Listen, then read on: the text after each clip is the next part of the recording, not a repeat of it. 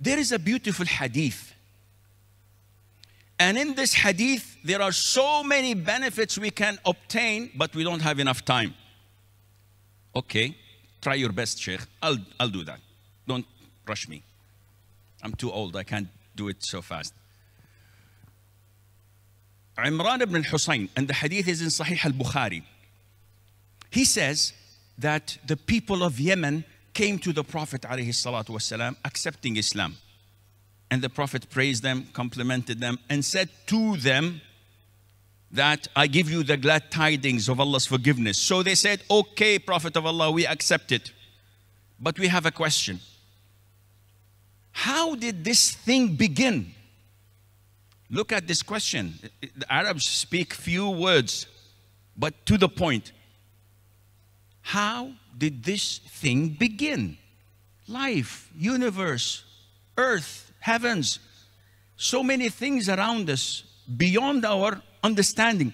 How did it all begin? Now, the Prophet والسلام, is the one authorized to answer.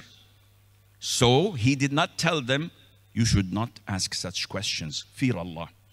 Because he's the one who gives answers. So he says to them, There was nothing but Allah. And his throne was over the water. And he wrote everything in the book and created the heavens and the earth. Full stop. Now, this hadith tells you about the origin of everything.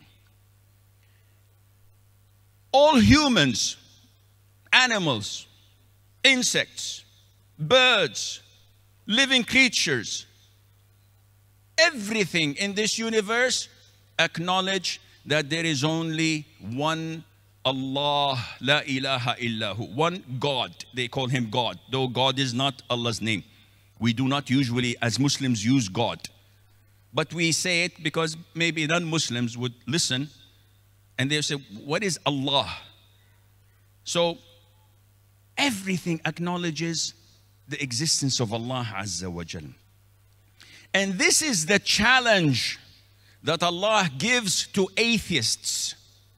When you see an atheist, he would say, There's no God.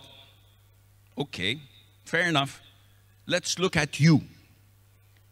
Allah says in the Quran, or were they created by nothing, or were they the creation of themselves? You are one of two. Either vacuum created you, you were nothing, and boom, you exist. Or you created yourself. Which one is it? Any atheist would say, hmm, vacuum cannot create. So, no, vacuum cannot create. And I did not create myself. So I'm in a dilemma now. What is the answer? It is Allah Azza wa Jal who created us. This hadith tells you there was nothing but Allah. In another, another authentic narration, there was nothing before Allah. In another narration, there was nothing with Allah.